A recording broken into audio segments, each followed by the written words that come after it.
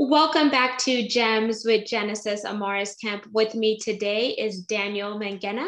His business is called Dream with Dan, and today we're talking about alchemy abundance. But before we jump into that, here's a bit about Dan. So, Daniel Mangena is an international speaker, best-selling author, broadcaster, and coach. He is best known for his highly successful Micro to Millions program, being the author of Stepping Beyond Intention and his Do It with Dan and Beyond Success podcast. He is completely self made and has spent decades perfecting his world class coaching methodology. His mission statement to spearhead an evolutionary uplift in universal consciousness by awakening people to the importance of their unique role and enabling them to manifest their dream life. And if that doesn't tell you a little bit more about Dan, well, here he is. Welcome. Thank you for having me. So, Dan, mm-hmm. when with all the incredible things that you have going on, the number one question for me is how do you find time to do mm-hmm. it all? By not trying to do all of it myself. so working smarter, not harder. Working smarter, not harder. Um, working in collaboration with others, allowing people to do what they're blessed and gifted to do, and supporting them in being their best in doing so. And now, whenever you think about that, and just definitely get offloading the tasks that aren't really conducive to you and just focusing on what really matters, how important is that whenever we think about abundance? Well, abundance, I feel, comes when we're in a place of flow. And flow is going to find you're going to find it a lot more challenging to be in a place of flow if you're burnt out from trying to do too much, or in a space of resistance because you're doing things that you don't want to do or that you can't do, or you've been, you know, riding the wave of ineffectiveness because you've been doing things that you're not that effective at. But when you're just staying in your flow by doing the things that you're called to do, that you're blessed to do, that you're gifted to do, and then actually you get the collaborative energy of other people at a high vibe because they're doing the same thing.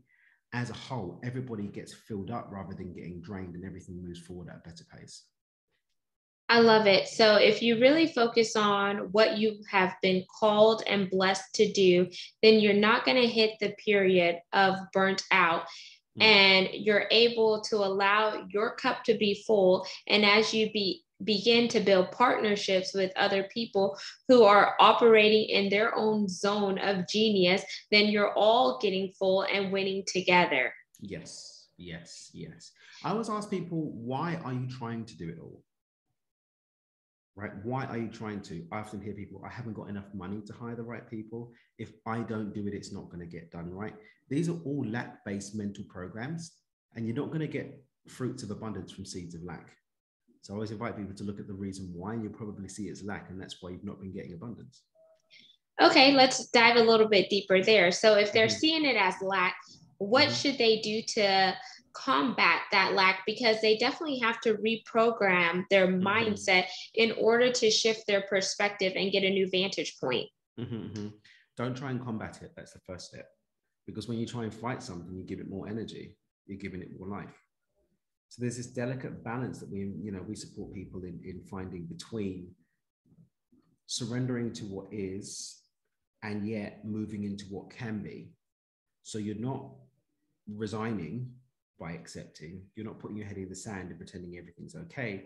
You're finding that gentle place of, okay, this is where my challenges are. This is where the lack is.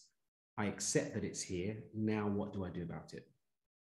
Oh, okay. So build from where you're at and yes. not necessarily dig deeper because if you're digging deeper, you're exerting energy in that space. Yeah. Okay. That and, makes and, sense. And, and the thing is, the unconscious mind moves at 10,000 to 10 million times the speed of the conscious mind anyway. A lot of people are trying to use conscious processes to overwrite an unconscious program, but it just doesn't move fast enough. So then you get more resentment, you get more burnout, you get frustration, you get negative loops being reinforced by the negative result of you not actually changing. And then you don't end up doing the things that can actually work to move you forward. Mm, okay, that's very that's very profound. And if you think about where you are right now in your mm-hmm. current state, and you and you pair that with Dream with Dan, mm-hmm. and you talk about abundance, what exactly does that look like? And let's dive a little bit deeper so mm-hmm. we can understand how Dream with Dan came about, mm-hmm. um, how you're how you're working and walking out abundance, and mm-hmm. how you are helping other people reach their version of abundance? Okay, so we just literally um, came off the back of a, a, workshop called Alchemy of Abundance this weekend in person. That's why I was like, oh, that we could use that one. Uh, and what we did is I took people through seven ideas, um, which, if followed, can become a roadmap to abundance coming to you alchemically. In other words, not you hustling for it, but it unfolding naturally from who you are. And the first thing is owning where you are, owning where you are, right? Then we want to start taking responsibility for where we're at and what's going to come next. Then we can start getting clear on where we want to go. Then we can start to clear the path in terms of our emotions and energy and frequency around it. Then we're supported even more greatly in dealing with the mindset challenges. Then we can come up with an effective strategy. And the last and perhaps most important piece is this honoring that you're human and having compassion for the fact that you're not going to be switched on all the time. You're not going to get it right every day. Sundays you're going to be giving into the little sneaky voice, and sometimes you're just not going to have the energy to do anything, and you're going to need to rest. So that's those are the seven steps that we take people through on that. Um, and it really does cover all of those bases and give people the opportunity to start really having that abundance coming in a natural way. Mm. And then I think whenever I heard you go through the seven steps, they're all very useful and there are things that we all know, but sometimes we don't want to practice what we know because it's mm. scary, right? Mm-hmm. So then instead of, you know, progressing, we end up regressing until, mm-hmm. you know, the going gets tough and then we're scrambling to mm-hmm. really find that sweet spot where we could mm-hmm. really grow. But if we would kind of take a step back and we look at, the big picture and we say, okay, what is our holistic approach? Then I could see that a lot of us will achieve our end goal sooner than we think. Would you mm, agree? 100%, 100%, 100%. The thing is, is that when the way that we teach people to select goals with the work that we do as well is it's not you cognitively cooking up a goal. It's actually feeding into heart to your heart and seeing what God wants to express through you and falling into line with that. So there's a certain level of support that sits behind it too. So what you want wants to be born into life also. So again, there's not hustling. You don't have to bully the sun to rise in the morning. The earth is going to spin and it's going to happen. So it's moving into that natural kind of flow with um, with with what you want, which is always going to be abundant because abundance is the natural way that things happen in nature anyway. Oh, you're dropping so many gems there. and it's and I really believe that this conversation happened at the right time because you said you just got out of a workshop that talked yeah. about the yeah, alchemy of yeah, abundance. Mm-hmm. And here we are talking about the alchemy of abundance. And some mm-hmm. people who operate in the religious or spiritual realm, they would say, oh, it's a kairos moment, which is mm-hmm. a God appointed moment, mm-hmm. or it's divine intervention or connection. Mm-hmm. And would, would you say that everything happens for a reason mm-hmm. and it's in that reason that is tied to our purpose? Would you agree with that statement? I say everything happens because it happens, and you can make a reason around it. oh, wow. Say that again. Everything happens because it happens, and you can wrap a reason around it. Okay. That's a different way of looking at it. So everything yeah. happens because it happens. It happens. Yeah. Okay, so not putting the extra baggage onto it. No, because there's a pressure to that. I mean, when you look at um, one of my keynotes that I deliver is called The Pointlessness of Purpose. And what that does is it actually breaks people free from this obsession with purpose at the work on the workshop this weekend one of the attendees, a guy called Matt, was saying how much freer he was by not running around like a headless chicken looking for this all-powerful singular purpose, which had been holding him back. Now that he understands he can flow and the divine can express a purpose for him at any time without him needing to chase after it, he's still going to be purpose driven, but he's not going to be driven bonkers finding that purpose. The divine just speaks it through him. Okay. So then what is an exercise that you did at the start of your conference as an icebreaker, if any? Uh, we did a number of exercises over the course of the weekend, a lot of visualization practices, some different intervention work. We also had one of my friends was there. We did like a tapping circle. Um, but um, I kind of go with the flow.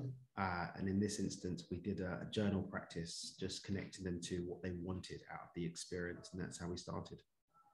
Okay. And mm. j- journaling is so freeing and so uplifting because it's a way to get those thoughts out of your head onto paper or electronically. And then if you reverse engineer it, then you're able to reflect on what you wrote in that instance. And then you mm-hmm. could also track your growth process mm-hmm, mm-hmm. by journaling. Yeah, 100%. 100%. And I feel like um, if people do not know how to effectively journal, then one one tip around that, what would you advise them to do? Don't make such a big thing out of it. Okay, just you know, be I'm, free. I'm, just be free. And, and, one of the things that you know I love to do is to make things simple. Mm-hmm. Um, and rather than saying, "Oh, you know, what am I going to journal?" Just give yourself a series of prompts. You know, it could just be, "What's one thing that I've learned today? What's one thing that I've challenged that's challenged me today? What's one way that I've expanded? Or a few things that I'm grateful for today? What's one thing I'd like to have done differently? Um, what's one thing I love about today? Just start getting into the habit, a regular, consistent habit of opening up, putting pen to paper, and allowing your thoughts without being filtered to flow onto the paper. And then it'll expand from there.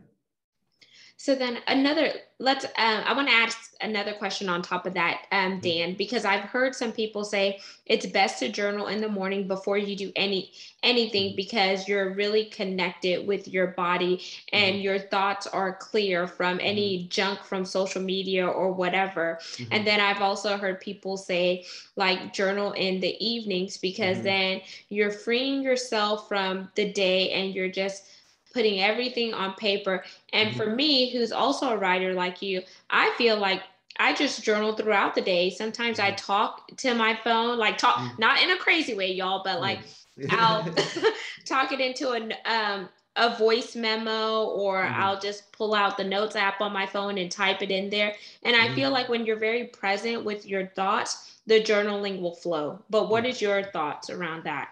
Everyone's unique. And it's even been evidenced by the fact that your personal experience at any time during the day, one teacher probably speaking from their own experiences the morning and one says the evening. I reject this idea of cookie cutter approaches to anything in life. We should look to where we find the most flow. So I invite the listeners to play with when do they feel that they get the most out of it? Track your emotional state. When are you most fulfilled? When do you get the biggest payoff? Maybe it's both morning and evening, which is what I do. I dovetail the day with it right so it's it's it's about getting to know yourself knowing yourself enough to know what works for you rather than being dependent on someone else feeding you their stuff which may not work for you at all Got it. So the cookie cutter method does not always work for everybody, mm-hmm. but then you have to find your own uniqueness and tap into that. And then once you find your own uniqueness, then you're able to beat your own drums and find your rhythm that flows with who you were created to be exactly. is and dan i want to um, pique your brain on what exactly is micro to millions program so uh, when i was about 18 i um I read I got a book by a guy called Stuart Goldsmith called The Midas Method. And uh, for those of you who don't know the story of Midas, Midas is a Greek myth, I think, Greek or Roman. He asked the gods for a gift and he wanted anything he touches to turn to gold. But of course, this was a ridiculous thing to ask for because then he couldn't eat anything because everything turned to gold. He turned his kids to gold when he kissed them, his wife to gold. So it's a it's a thing about greed. But the, when people say you've got the Midas touch, anything you touch turns to gold. It's about being successful. So I studied this book. It supported me in, um, in creating success at a very early age. Uh, and the, the author of the book, guy called the, I say Stuart Goldsmith, I actually used the publisher's information in the book and wrote him a letter. And he became my first mentor because we were pen pals. So we're like 18 years old. Anyway, uh, a year or so later, he, he did an experiment where he said, I want you all, and this is in the UK, by the way, uh, to find a penny on the floor. You have to find it on the floor and then only using money that you find on the floor or doing something with the money that you found to go through this process of doubling one penny to two, two pennies to three, uh, to one penny to two, two to four, four to eight, blah, blah, blah. There's a few places where you can round down, but he has some very strict rule But if you take one penny and double it 28 times, it takes you to just over 1.6 million. So every penny has the potential to be worth, you know, over a million pounds. So I was one of the people that actually went through this experiment and completed. It's how I made my first million when I was 19 years old. Um, when I lost all of that and then went to create again, I didn't use this method specifically the second time, but the third time when I was looking to, to build myself up again, I got to about 120,000. I needed the money, I used it. Going to 2016 now, fast forward, um, I don't know, nine years or whatever to, to, to 2016, when I was in my consulting business and thinking about leaving that to come and do what I do now, I said, oh my goodness, I completely forgot about the WA to a million method. I said, I can use that to, to go again. So I started and I got stuck at about £12,000, just over £12,000. I was stuck there for months and I didn't understand why I was I stuck. Did some journaling on it, did some introspection and realized 19 year old me that was doing it was like a little lone wolf, go get it, hustle, hustle, hustle. 30 something year old me is kind of chill, more heart centered, collaboration, more about energy, um, um, frequency of money. It's very different. So I was trying to basically pour old wine into new caskets and new wine into old caskets, and that isn't going to work. And that's why I got stuck. It's new wine in old caskets. So I went online and started to do some research looking for communities because before there were like these little online groups people that were connecting and doing the different things like, hey, I'm on this step, here are some ideas, and blah, blah, blah. So I hopped on and I found that one of Stuart's business partners, a guy called Barry, had created a different version where he said instead of starting from a penny, just start from 100 and then it's only 14 steps. So I said, Oh, I'll try this. But again, I just got stuck. Nothing really happened. I said, Why is this? Fast forward a year and a half and it hit me. Number one, I needed to be in community. Number two, I needed that community to be on the same vibe as me. Number three, these guys are all about hustle, hustle, hustle, and some mindset, but mainly hustle. And I'm now talking about intentionality, about frequency, collaborative energy, and working smart, not hard. So Micro to Millions became a community that I started where we guide people going through the process of taking 100 and turning it into 1.6 million, covering the energy, the mindset, and different strategies and tactics you can use based on you, an cutter approach to get to over a million. And we've got millionaires in the program. We've got people that got to hundreds of thousands, people who created financial freedom, and we support people at different levels. And it's, it's great fun. Wow. And that's insightful because as you were sharing, I could hear the growth because you said, I hit my first million, my first million at 19, then mm-hmm. you lost it all. Mm-hmm. Then you're then fast forwarding life, you were trying to hit it again, you got mm-hmm. stuck, and then mm-hmm you took a step back and you're mm-hmm. like, okay, why am I stuck here? Then you mm-hmm. just really started to analyze and stuff. And it was because you're a different person than you were at 19 mm-hmm. years old. Some mm-hmm. of your goals changed, the way you mm-hmm. see life changed, and etc.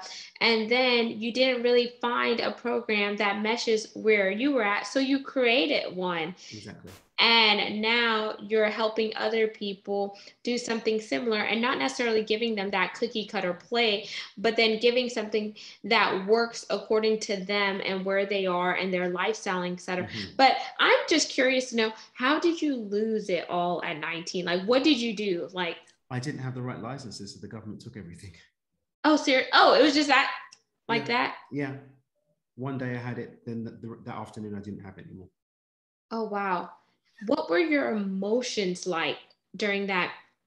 At the first time, I was absolutely fine, Genesis. I was like, oh, okay. Remember, I was young. I hadn't been yeah. tested by life yet. Right. I was 20 years old at that time. And I was arrogant. I was like, I'm just going to do it again. So I went off and did it again. Within a year and a half, I was millionaire again. Oh, wow. Yeah. That was it.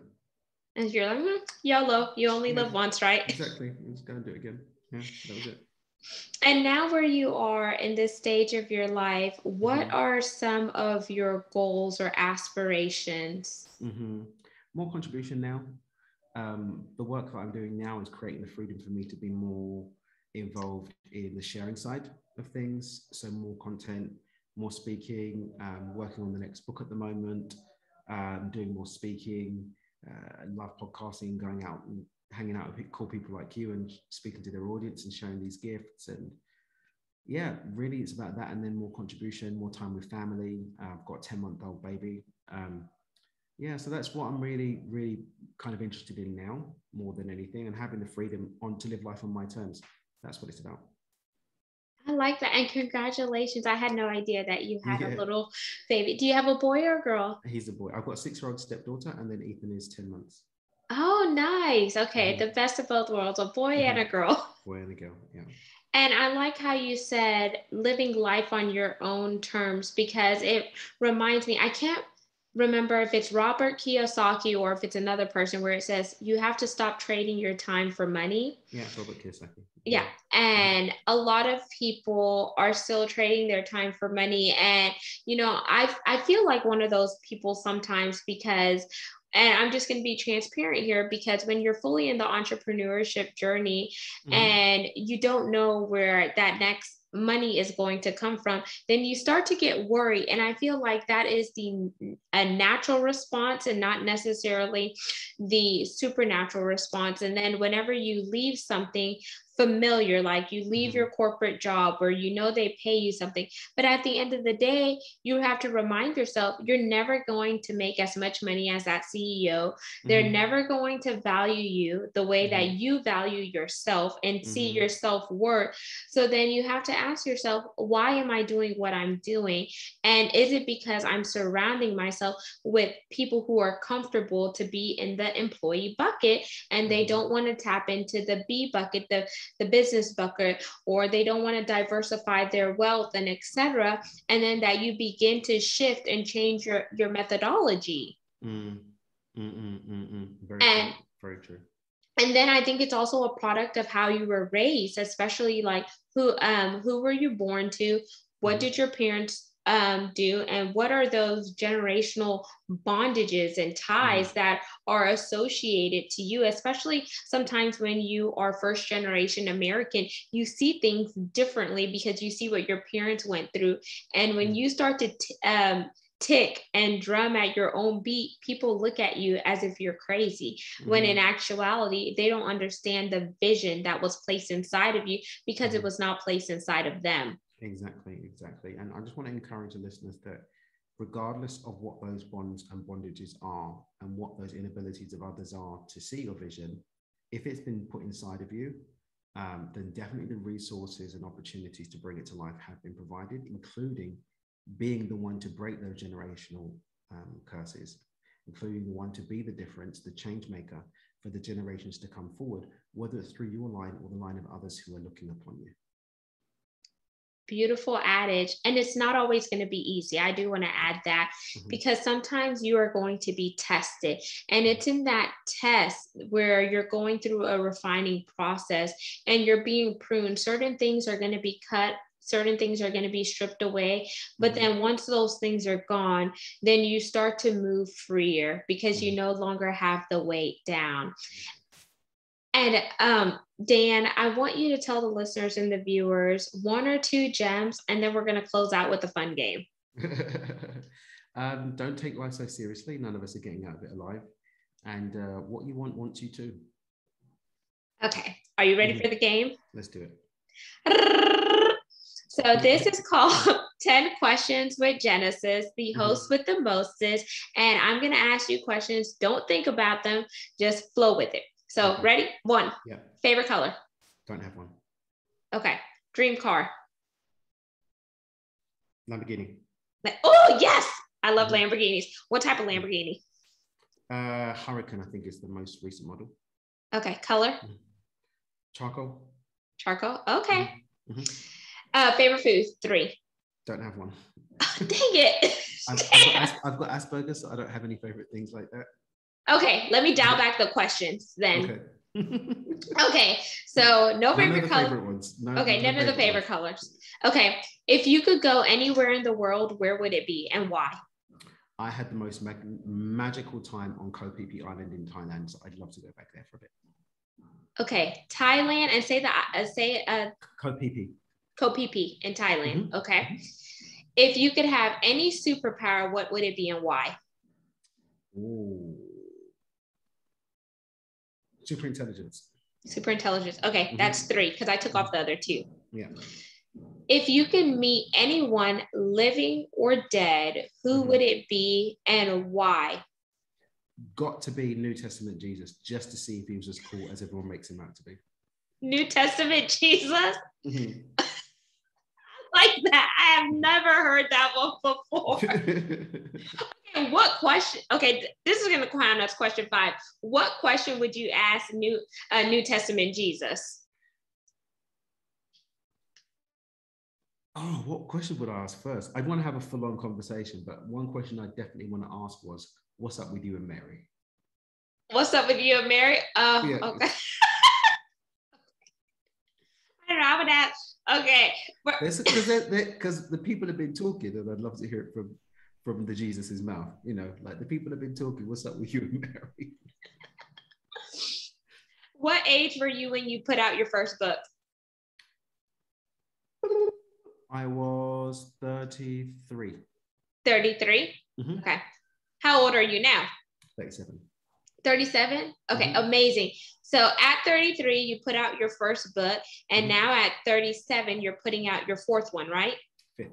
Fifth one. 5th mm-hmm. one. Mm-hmm. Amazing. And you're a best-selling author. Yes. So you have some amazing things that happened within a span of four years. Mm-hmm. Okay. Eight. Whew, okay. Would you, if you could, wait, no, I don't want to ask that one. I got to go deeper because I have to go deep with you, Dan. That's what I'm learning. How did you mm-hmm. come up with your business name, Dream with Dan? Um, it kind of flowed from the website because I was looking for a good one, um, uh, a good name, uh, because I I got my name domain as well, danielmangena.com, but um, it's a bit difficult to remember. So I was like, oh, okay, what can I do that people are going to remember? I was like, Dream with Dan. It was available. So I, I took it and then that became the business. Okay. Mm-hmm. I was wondering, I was like, Dream with Dan, are you, mm-hmm. is he a dreamer, a doer? Well, my company is Dreamer HQ. Uh, my catchphrase is Dream with your eyes open. I'm Dreamer CEO across all socials. The dream concept is deeply embedded because we're all about allowing people to live their dream life. Um, and so there's like when I could include it and it was easy to remember, like everyone can remember Dream with Dan. Nice. And then nine. Since you're going on speaking engagements and etc., mm-hmm. if you could pick the place, mm-hmm. the time, mm-hmm. and the topic, mm-hmm. and money is limitless, where would you be speaking at?